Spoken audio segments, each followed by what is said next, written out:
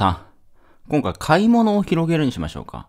まあ、今回選んだ理由が、結構ね、検索してて、僕が買おうとしてるチャリンコの情報がすごく少なくて、まあ、ブログが1ブログぐらいしかないんですよ。で、YouTube ほとんどないんですね。ただその N8 モデルは、あの、すごく売れてて、まあ、在庫もほとんどないんですよ。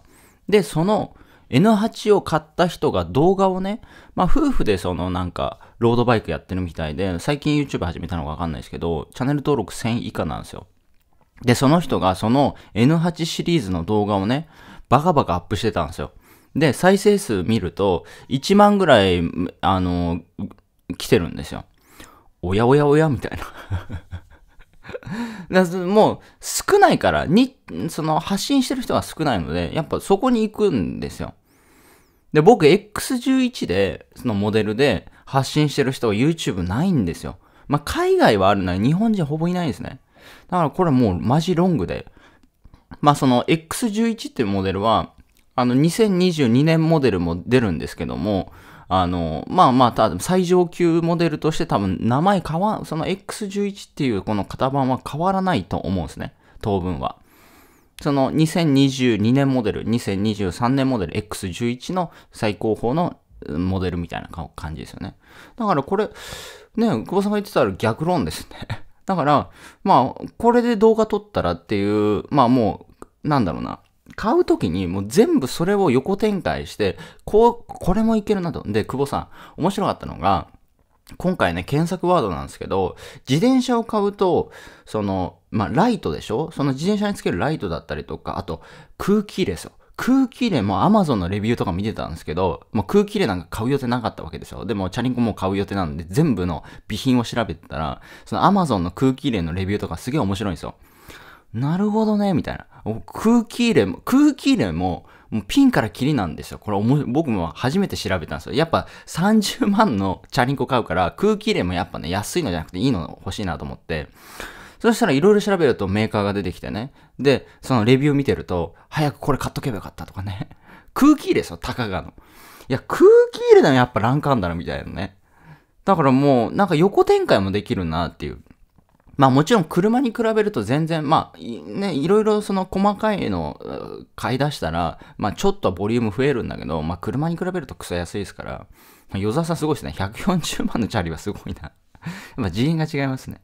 でも、与沢さんにできないことは僕はできるんで、動画撮りまくれるんで。だからまあ、あのー、まあ、今後その、な買い物をするときにやっぱ横にこう展開していく。これ、その、まあ、自分が調べてるじゃないですか。調べてるイコール、そのネットの答えなんですよ。その検索キーワードに対してどういう情報が出てるのか、どういうブログサイトが出てるのか、どういう YouTube が出てるのか、ライバルどれぐらいなのか、あ、このキーワード勝てるぞ、みたいな。もう、もはやもう、買い物の情報を調べながら、その、なんかもう戦略を練れるっていうね。これは美味しいぞ、みたいな。で、あの、やっぱその、買いたいな、だから、絶対あれなんですけど、多分、そのスペックがあって、N8P10P、N8P10X11 みたいな、まあ、あと A7 とかね、まあ、ランクがあるんですけど、多分ね、そこら辺の中級モデル買った人は X11 最高峰のやっぱ見たいんですよ。どんなやつかなみたいな。憧れなんですよ、多分。まあ僕が 34GTR が憧れだったみたいな、見たいんですよ。だから、買う、買う需要はないけど、見たい需要は絶対あるんで、これね、めちゃめちゃ取りたまくったろうかな、みたいな。めちゃめちゃ取りまくったろうかなと思いますね。そう。で、その P11 も、なんかその買って何個レビューしましたっていうね、顔出ししてない人なんですけど、それももう何千回かな、だ結構再生されてるんですよ。これ結構いいけるなと思いますね。X11 はやっぱね、30万クラスなんで、あのー、車体価格が、その、自転車でね。これはいいぞと。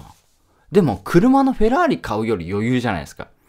ね、ランボルギーニとかフェラーリもまあまあそのアクセス集められると思うんですけど、これ買うよりクソ安いですよね。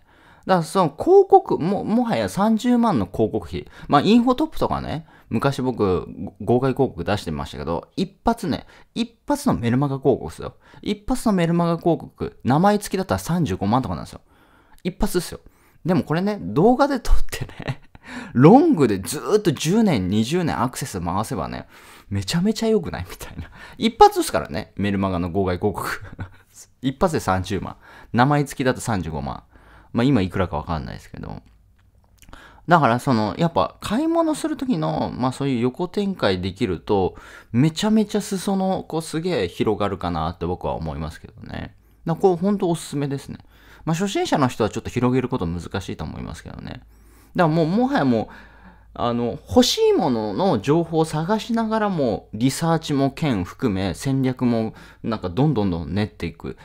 情報を探せば探るほど、なんだろうな、もう一石何鳥になっていくっていうね。そう。だから今回新しい発見、新しいキーワードですね。だから自転車を買わなければ、まずそもそも空気入れなんか買おうと思わないし、空気入れっていうキーワードを扱うことなかったし、これね、まあ、いっぱいその自転車を扱わなければ得られない多分や、しかもね、これ安い自転車買ってったら、多分そんな備品揃えないんですよ。で、あとそのチェーンロックですよね。その防犯の、防犯対策みたいな。